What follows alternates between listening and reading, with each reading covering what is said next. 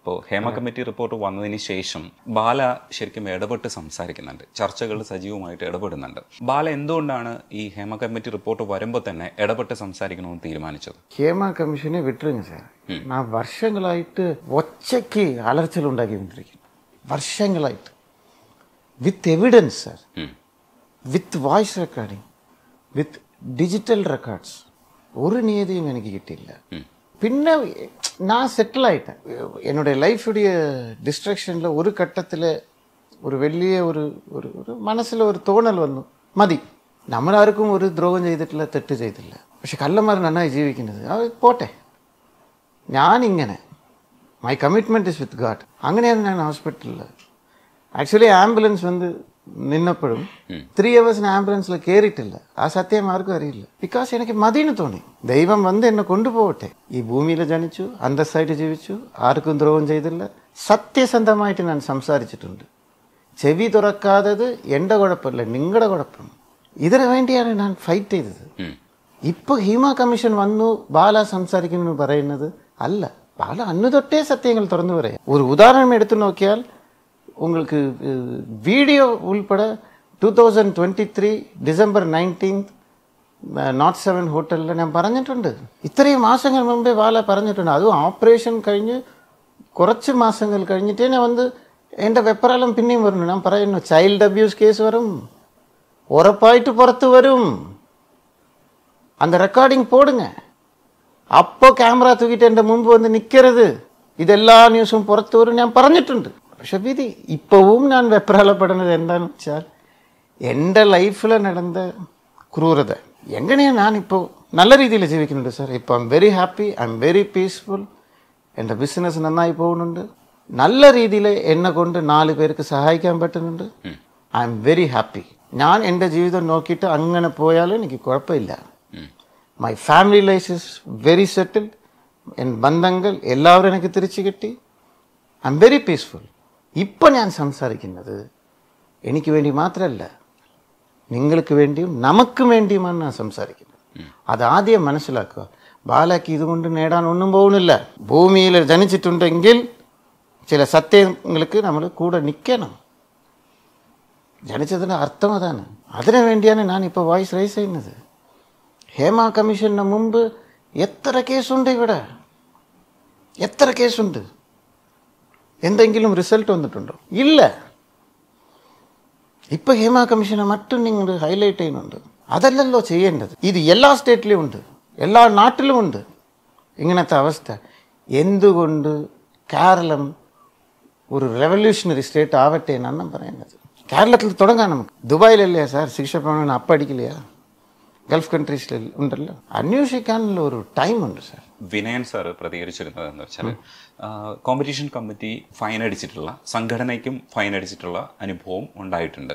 കേസിന് പോയി competition committee fine അടിച്ചു കാരണം ഒരാളുടെ തൊഴിലിനെ തടയാൻ പറ്റില്ല എന്നുള്ള തരത്തിൽ ആ നിയമ സംവിധാനത്തെ അല്ലെങ്കിൽ കോമ്പറ്റീഷൻ കമ്മിറ്റി തന്നെ അങ്ങനെ കമ്മീഷൻ തന്നെ അങ്ങനെ ഉപയോഗിക്കാൻ കഴിയുമെന്ന് കാണിച്ചിട്ടുണ്ടായിരുന്നു. അത് ഈ ഘട്ടത്തിൽ ഒരു ബൈറ്റിൽ വിനൻ സാർ പറഞ്ഞിട്ടുണ്ടായിരുന്നു. ഇത് ഞാൻ നേരത്തെ പറഞ്ഞിരുന്നതാണ്. ഇത്തരത്തിലുള്ള സാധനങ്ങൾക്ക് അന്ന് തന്നെ കുറച്ചുകൂടെ പ്രതികരണം ഉണ്ടായിരുന്നെങ്കിൽ ഇത്തരം അവസ്ഥകൾ ഉണ്ടാവില്ലായിരുന്നു.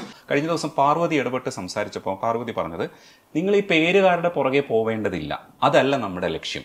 ലക്ഷ്യം എന്ന് പറയുന്നത് പേരുകാരുടെ പുറകെ പോവേണ്ടതില്ല അതായത് പേരുകാരെ അല്ല ഇന്ന പവർ ഗ്രൂപ്പിൽ ആരൊക്കെയുണ്ട് പേരല്ല പ്രശ്നം ഈ അടിസ്ഥാനപരമായി ഈ പ്രശ്നം ഇവിടെ നിലനിൽക്കുന്നുണ്ട് ഇത് പരിഹരിക്കാൻ എന്താണ് വേണ്ടത് അടുത്ത സ്റ്റെപ്പ് എന്താണ് എടുക്കേണ്ടത് എന്നുള്ള രീതിയിലാണ് ഈ ഹേമ കമ്മീഷൻ റിപ്പോർട്ടുമായി ബന്ധപ്പെട്ട അടുത്ത സ്റ്റെപ്പിൽ ശരിക്കും ബാലയ്ക്ക് എന്തൊക്കെ തരത്തിലുള്ള ആശങ്കയാണുള്ളത് ഇല്ലെങ്കിൽ എങ്ങനെയാണ് അതിനെ പോസിറ്റീവായിട്ട് നോക്കിക്കാണുന്നത് ஒரு மேகலையில் ஒரு கசாரம் இருக்குது ഉം.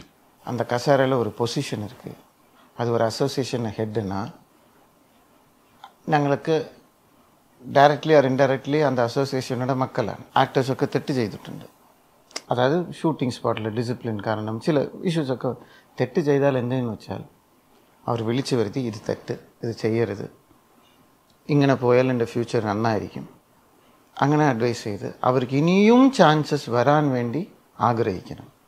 ആ കസേരയിലിരിക്കുന്നവരുടെ ഡ്യൂട്ടി എന്താണെന്ന് വെച്ചാൽ നാല് പേർക്ക് ജോലി കൊടുക്കുന്നത്. കാരണം സിനിമാക്കാരനുക്ക് ഡോക്ടറാകാൻ പറ്റില്ല. എഞ്ചിനീയർ ആവാൻ അവൻ സിനിമയിൽ പ്രത്യേകിച്ച് സിനിമാക്ക് മാത്രം എന്നെ സിനിമാ തൊഴിൽ മാത്രമേ അറിയുള്ളൂ വേറെ തൊഴിൽ പ്രത്യേകിച്ച് അറിയത്തില്ല കഷ്ടം അവർക്ക് അപ്പോൾ ആ മേഖലയിൽ കുറേ പണിഷ്മെൻ്റ് അല്ല അവർക്ക് വേണ്ടത് കുറേ വർക്കാണ് നമ്മൾ അവരെ അവർ ചെയ്ത തെറ്റ തിരുത്തി അവർക്ക് കുറേ വർക്ക് തരണം അത് എനിക്ക് തോന്നുന്നു അമ്മ അസോസിയേഷൻ ഇസ് ഡൂയിങ് ഇറ്റ് അതിലെനിക്ക് വലിയ ഒരു ഒരു കുറ്റമായിട്ടൊന്നും തോന്നിയിട്ടില്ല ചില ഇഷ്യൂസ് വന്നിട്ടുണ്ട് പർട്ടിക്കുലർ ഇഷ്യൂസ് ഒക്കെ ഇപ്പം നിങ്ങൾ പറയുന്നത് പോലെ വിനയൻ സാറുടെ ഇഷ്യൂ തിലകൻ സാറുടെ ഇഷ്യൂസ് വന്നിട്ടുണ്ട് അതിനെക്കുറിച്ചുള്ള ഡീപ്പായിട്ടുള്ള എനിക്ക് എക്സ്പീരിയൻസ് ഇല്ല അത് സംസാരിക്കാനുള്ള എക്സ്പീരിയൻസ് എനിക്കില്ല എനിക്ക് അറിവില്ല അതിനെക്കുറിച്ച് അപ്പോൾ ശമ്പളത്തുടെ കാര്യം തീരുമാനിക്കുന്നത് ഒരാളുടെ പുല്ലിംഗ് പവർ മാർക്കറ്റ് എന്ന് പറയുന്നത് എന്താണെന്ന് വെച്ചാൽ അദ്ദേഹം ഒരു പടം ചെയ്യുന്നുണ്ട് ഒരു സ്റ്റാർ വെതർ ഫീമെയിലോ മേലോ ആ പടം വിജയിക്കാം തോൽക്കാം அந்த പടം இறங்கின திவசம் அந்த ஆளுடைய pulling power what is the impact அது நான் அவர் சம்பளத்துக்கு அந்தஸ்து தரணும். ஸ்டேட்டஸ் ஆஃப் தி சேலரி அங்கேயே வருது. இப்போ நயன்தாராவுக்கு எத்தனை சம்பளம்? ஓடிக்கலாம் பிகாஸ் நயன்தாராக்கு அத்தனை ஃபேன்ஸ் ഉണ്ട് അത് ആണാണോ പെണ്ണാണോ അല്ല ഷീ ഈസ് എ സ്റ്റാർ ഇത്രയും വർഷം കഴിഞ്ഞിട്ട് Manju Warrier is coming back വന്നല്ലേ വർഷങ്ങൾ മുമ്പ് എത്ര വർഷം അഭിനയിച്ചില്ല സ്റ്റിൽ അന്ത ഫാൻ ഫോളോയിങ് ഉണ്ട്? എല്ലാവരും പറയും ഗ്യാപ്പ് വിട്ടാൽ മറന്നു പോകും. ചില ആർട്ടിസ്റ്റ് മനസ്സിൽ സ്നേഹിച്ചു കഴിഞ്ഞാൽ മരിക്കുന്നവർ ഒരു ഓഡിയൻസ് മറക്കില്ല. അങ്ങനെ കഥാപാത്രങ്ങൾ അവർ ചെയ്തിട്ടുണ്ടാവും ലൈഫിൽ അങ്ങനെ ഒരു ഭാഗ്യം അവർക്ക് കിട്ടിയിട്ടുണ്ടാവും. ഇപ്പോൾ മഞ്ജു വാര്യർ തിരിച്ചു വന്നപ്പോൾ അന്നത്തെ കാലഘട്ടത്തെ വിട fans കൂടുതലാകുന്നത് so that is the pulling power അപ്പോൾ അത് വെച്ചിട്ടാണ് സാലറി തീരുമാനിക്കുന്നത്. അപ്പോൾ ജനറലായിട്ട് പോയിട്ട് ആണുങ്ങൾ കിട്ടുന്ന സാലറി പെണ്ണുങ്ങൾ കിട്ടുന്ന അതെല്ലാം. അതല്ല ഇപ്പോ വിഷയം എന്ന് വെച്ചാൽ റിപ്പോർട്ട് വന്നതിന് ശേഷം നടക്കുന്ന ചർച്ചകളിൽ ഇടപെട്ടിട്ടാണ് പാർവതി സംസാരിച്ചിരിക്കുന്നത്. കൃത്യമായിട്ട് ഒരു ആ ഈ ചർച്ചകൾ എന്ന് പറയുന്നത് ഇന്ന ആളിന്റെ മുഖം പറയണോ ഇന്ന ആളിന്റെ പേര് പറയണോ എന്നുള്ളതിലേക്ക് ചർച്ചകൾ പോവേണ്ടതില്ല. അതല്ല നമ്മുടെ ലക്ഷ്യം. അവരൊക്കെ അവിടെ ഉണ്ട് ഇൻഡസ്ട്രിയിലുണ്ട്. അത് ചിലപ്പോൾ ആ പേരുകാരല്ല മറ്റൊരു പേരുകാരായി നാളെ വരാം. അപ്പോ ആ പേരൊന്നും അല്ല നമ്മുടെ പ്രശ്നം. ഈ പ്രശ്നങ്ങൾ പരിഹരിക്കാൻ വേണ്ടിയിട്ട് അടുത്ത സ്റ്റെപ്പ് നമുക്ക് എന്തെടുക്കാൻ പറ്റും എന്നാണ് ആ ചർച്ചയെ ഡീവേറ്റ് ചെയ്യുന്നത്. അങ്ങനെ ഹേമ കമ്മിറ്റി റിപ്പോർട്ടിനെ പോസിറ്റീവായിട്ട് നമ്മൾ ഡീവേറ്റ് ചെയ്യുമ്പോൾ ഇപ്പോൾ പലതരത്തിലുള്ള ആക്ഷേപങ്ങളുണ്ട്. ഇപ്പോൾ കുറേ പേജുകൾ ഇനിയും പുറത്തു വരാനുണ്ട്. അത് തന്നെ പുറത്തു വരേണ്ടതുണ്ടായിരുന്നു. പിന്നെ മറച്ചു വെക്കപ്പെട്ട പേരുകൾ പുറത്തു പറയണോ വേണ്ടേ എന്നൊക്കെയുള്ള ഡിസ്കഷൻ നടക്കുന്നുണ്ട്. അതൊന്നും ശ്രദ്ധിക്കേണ്ടതില്ല. പക്ഷേ ഇവിടെ പ്രശ്നങ്ങളുണ്ട് എന്ന് മനസ്സിലായല്ലോ. അപ്പോൾ ഹേമ കമ്മിറ്റിയെ അങ്ങനെ നമ്മൾ ചർച്ച ചെയ്ത് മുന്നോട്ട് പോവേണ്ട അടുത്ത സ്റ്റെപ്പ് എടുക്കാൻ എന്തൊക്കെയാണ് വേണ്ടത് എന്നുള്ള രീതിയിൽ ചർച്ച ചെയ്യേണ്ടതില്ലേ? ആ അങ്ങനെയാണ് പാർവതി അഭിപ്രായം പറയുന്നത് അത്തരം ചർച്ചകൾ പാർവതി പറഞ്ഞതിൽ ഒരു അഭിപ്രായത്തോട് എനിക്ക് ரெஸ்பெக்ட் உண்டு ഉം. ஒரு சிம்பிள் எக்ஸாம்பிள் சொன்னேன் சார் ஒரு பாம்பேயில் ஒரு ரோட்டில் ஒரு ஆள் இங்கே கை காணிக்கணும் ஒரு പെണ്ണെടുത്ത് അപ്പോൾ ഒരു വീഡിയോ റെക്കോർഡിങ് അവൾ ചെയ്യുന്നു ഇതാ ഇദ്ദേഹം പറഞ്ഞത് ഇത്രയേ ഉള്ളൂ ഫ്രീ ലെഫ്റ്റ് അല്ലേ ഉം, ഉം, ഫ്രീ ലെഫ്റ്റ് അല്ലേ ഇങ്ങനെ ബ്ലോക്ക് ചെയ്താൽ എങ്ങനെ ഇങ്ങനെയാ പറഞ്ഞത് ഉം. ഈ പെണ്ണ് இந்த വീഡിയോ എടുത്തിട്ട് ഫേസ്ബുക്കിൽ ഇടുക ഓപ്പണായിട്ട് ട്രാഫിക്കിൽ ആൾ എന്റെ ഫോ നമ്പർ വെച്ച് ഫോട്ടോ ഇട്ടോ എല്ലാം എടുത്ത് ഇയാൾ എന്നെ മേൽഭാഗത്തെക്കുറിച്ച് മോശമായിട്ട് സംസാരിച്ചു. കേസായി. സൈബർ ബുള്ളിങ് ആയി ഫോർ ഇയേഴ്സ് പ്രൂവ് ആയി. കാരണം പുറകിലെ ഏതോ ഒരു പുണ്യവാൻ റെക്കോർഡ് ചെയ്തിട്ടുണ്ട്. അന്ത് തെളിവ് വന്നപ്പോൾ ഇയാൾ പുറത്ത് രക്ഷപ്പെട്ടു. അയാൾ പറയുന്ന വാക്കുകൾ നിങ്ങൾ കേൾക്കണം. അവൻ മനസ്സ് തുറന്ന് പറയുന്ന വാക്കുകൾ കേൾക്കണം ശരി ഇപ്പോൾ പ്രൂവ് ആയി നാല് വർഷം ഞാൻ അവസ്ഥപ്പെട്ടു ഉം. നാട്ടുകാർ മുൻപ് ഞാൻ ഒരു കാമ കൊടൂരണ്ണ എൻ്റെ അച്ഛനമ്മ മുമ്പ് എനിക്ക് അച്ഛനമ്മ ഫേസ് ചെയ്യാൻ പോലും പറ്റുന്നില്ല എനിക്ക് പെണ്ണ് കിട്ടിയില്ല എനിക്ക് പ്രൊമോഷൻ കിട്ടിയില്ല ആ പെണ്ണ് ചെയ്ത ഒരേ ഒരു പിന്നെ ആ പെണ്ണുക്ക് പബ്ലിസിറ്റി ഇവളാണ് നായകി പുറത്തു വന്നു അത് ഇതിന് എല്ലാം പറഞ്ഞു ഇപ്പൊ ഇതുവരെ കഥ വേറെ ഇപ്പൊ അവൻ പറയാൻ പോകുന്ന കഥയാണ് നിങ്ങൾ കേൾക്കേണ്ടത് ഒരു മുപ്പത് നാൽപ്പത് ലക്ഷം പേര് ഇത് കണ്ടു കഴിഞ്ഞു ഇപ്പൊ ഞാൻ നിരപരാധിന് പറഞ്ഞു ഇത് ഒരു അഞ്ച് ലക്ഷം പേര് പോലും കാണത്തില്ല ഞാൻ മരിക്കുന്നവരെ ബാക്കിയുള്ളവരുടെ കണ്ണിൽ ഞാൻ കുറ്റവാളി തന്നെയാണ് ഉം.